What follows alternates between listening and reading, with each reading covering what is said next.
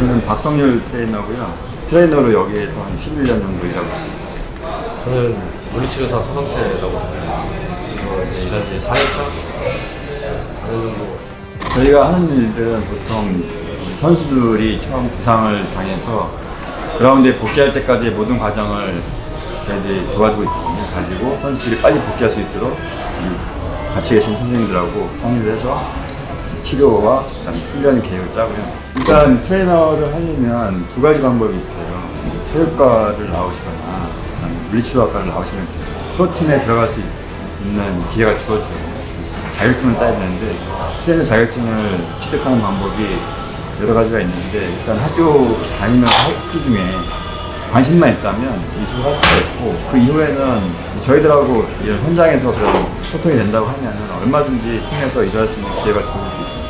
저희는 이 축구라는 매개체가 있기 때문에 세계 어느 나라 축구 선수와도 바디 랭귀지 짧은 영어 모든 걸 다 동원해서 하죠. 제, 제 선배님들 뭐 중국이나 뭐 베트남 이런 데 가 계신 분들도 많은데 영어 잘 못하셔도 그분들하고 그 굉장히 깊은 대화까지 나누시더라고요.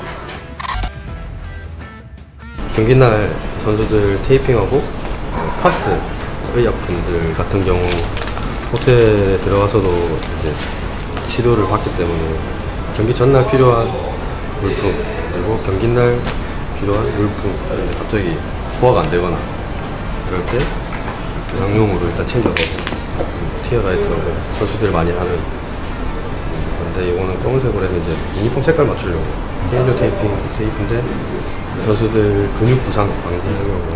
이거는 이렇게 chloride 이렇게 급속 냉각시키는 그런 아이스 파스 같은 갑작스럽게 발목을 뭐 차이거나 삐거나 뭐 근육이 살짝 지가 난다고 했을 때 응급적으로 지혈한다고 이렇게 뿌려주는 겁니다 조금 냉각 기능이 조금 세가지고 깊숙이 뿌려주면 잠시 일시적으로 마, 마취 효과 그런 기능이 있어서 좀 아니 요즘에는 한식들이 많이 좋아하세요. 특히 오스마 같은 경우는 이 시합 전날에 양식을 안 먹어요. 오히려 한국 선수들이 양식을 주문을 하고 오스마르나 알레바이프 같은 선수들은 오히려 막 된장찌개, 김치찌개, 뭐 갈, 갈비찜 이런 거 되게 좋아합니다. 부상당했던 선수들이 이제 복귀할 때가 제일 그렇죠. 보람차죠. 특히, 특히 그 부상 부위로 골을 넣었다거나 뭐 했을 때는 더 기쁘죠. 훈련 열심히 하고 있으니까 많이 응원해 주시고 여러분들 모두 힘내시고 다 같이 화이팅 했으면 좋겠습니다. 화이팅!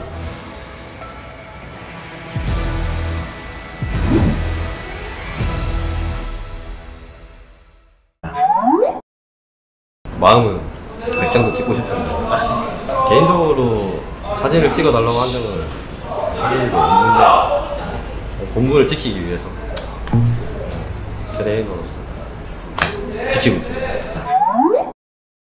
빨간색을 되게 좋아하게 돼가지고 이제 여기서 것 같아요. 혹시 빨간색이 다른 팀이었으면 안 오셨는지 다른 팀이었으면 다시 한번 생각해 볼게요.